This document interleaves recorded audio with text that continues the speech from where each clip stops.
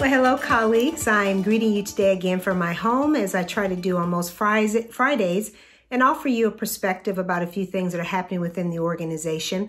And I don't know about you, but I thought after commencement, uh, things were going to slow down dramatically. That has not been the case this week. In fact, it feels like things just keep going and pick up at a very rapid rate.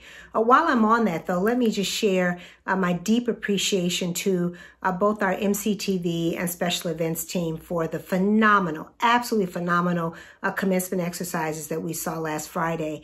I don't know about you, but there was something very pure, uh, very elegant about the way in which we were able to lift up the experiences of students and their stories as a part of that graduation uh, ceremony. Unbelievable. Loved it. Probably, I have to say, maybe even loved it a little bit more than the face to face because it really puts students at the center of that program. So thank you all so much for all the work that went into that. Uh, the production was simply phenomenal. Um, speaking of things that are also an interesting moment time for us, we have probably heard by now that Governor Hogan has issued some different directives as we move into phase one of a state's recovery plan and thinking very deliberately about how we start to quote unquote reopen Maryland as it relates to the coronavirus. Um, yesterday, uh, our county executive also then spoke to specifics as they relate to Montgomery County. So keep in mind, there are certainly federal uh, things that are taking place, but specifically for us in Maryland, what our governor says is very important, but even more specific is that of Montgomery County, uh, where our county executive offers some perspectives about a gradual phased in reopening of Montgomery County. Uh, what I think is important, we know that the CDC is still encouraging hand washing, uh, face coverings, and us to be very deliberate about our comings and going and the way in which we interact and still practicing uh, physical distancing. Uh, but we also know that these are recommendations that will only mean something if we all embrace them and lean into them. So please continue to do the work you're doing in this space. We do not want to see uh, this virus resurface. We want to be able to hopefully bend the curve and keep the curve bent. I also know that we're also saying that it's going to be very important uh, that we're very deliberate about monitoring over time. So I encourage you also uh, to become familiar with the county's website, which looks at some very key uh, performance indicators as it relates to the virus. Now, that said, I think it's also important for people to know that the college is still doing our assessment as we decide and move forward in this pandemic. Um, if you read the MC COVID 19 health and safety plan uh, that I shared with the college community just last week, you know that we're thinking about this from every angle that we can, from students to employees to those people who visit us. And we're being very deliberate about how we phase in our approach and return to uh, campus in very deliberate ways. Um, you will hear from the college directly on any changes that we make as it relates to our own status. But I want to be very clear about this. Uh, nothing that the county or state says or does about reopening automatically affects the college. Uh, there's a broader set of circumstances that we have to be aware of and be deliberate in thinking about. Uh, as we prepare to step back into our campus facilities, uh, there's deep cleaning that has to be done. Uh, there's filters that have to be changed. All the types of things that many of us are completely unaware of.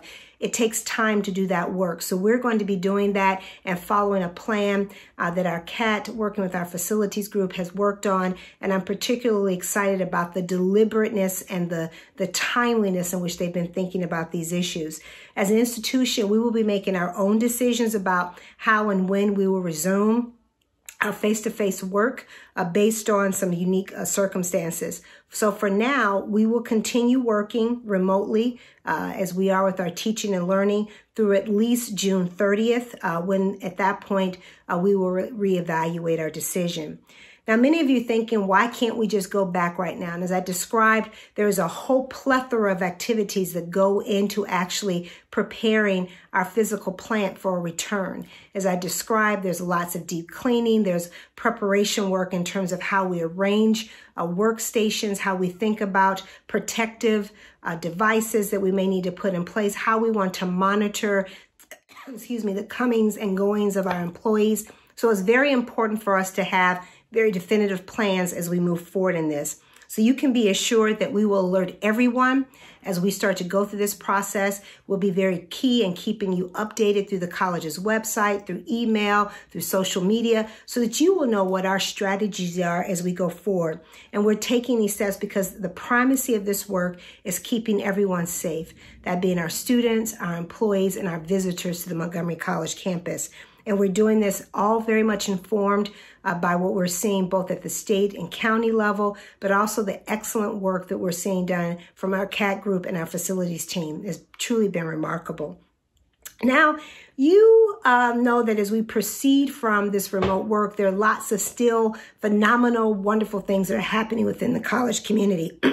In fact, we have a new program uh, that you hopefully have seen announced uh, earlier this week, Raptor Ready, which is a scholarship program that's set up to help MCPS graduates who graduated this uh, spring uh, so they can start taking classes remotely at Montgomery College this summer. Uh, the program covers tuition and fees for one Montgomery College class plus technology expenses. So we're very excited about this. So if you know someone who might benefit from this, please have them apply. Uh, they ha- have to have been graduated or will be graduating this month in June, have to be um, uh, financially impacted by the COVID 19 uh, pandemic. And as a result of that, are able then to uh, take advantage of these resources the college is going to designate for this purpose. Uh, this program, I think, is an innovative, creative response to this environment. Um, and it's something that Montgomery College does well. We think about how we partner, how we can impact our community positively, and then we use our resources in that manner. One more thing I'll share with you is that um, we have a, a, county program that's taking place, I think you all should know about, uh, regarding rental assistance for those who've been impacted by COVID 19. Uh, to see if you qualify, please visit their website. Uh, financial strain, along with other COVID 19 expenses and challenges, can impact everyone very seriously. And as a result of that, there's also mental health support that's available for employees through our faculty staff assistance program. And this also means that each of us, I think, needs to continue to think about how we can take breaks to take care of ourselves and to take care of others and to be much more intentional about preserving our energy and being very deliberate in that space. Uh, we need each other now more than ever. Uh, we are a community. Uh, we are practicing kindness. We're practicing clarity. But more importantly, remember how to take care of each other as we're taking care of ourselves. All of this, I hope, is of benefit and information to you, and I look forward to seeing you next week. With that, be well.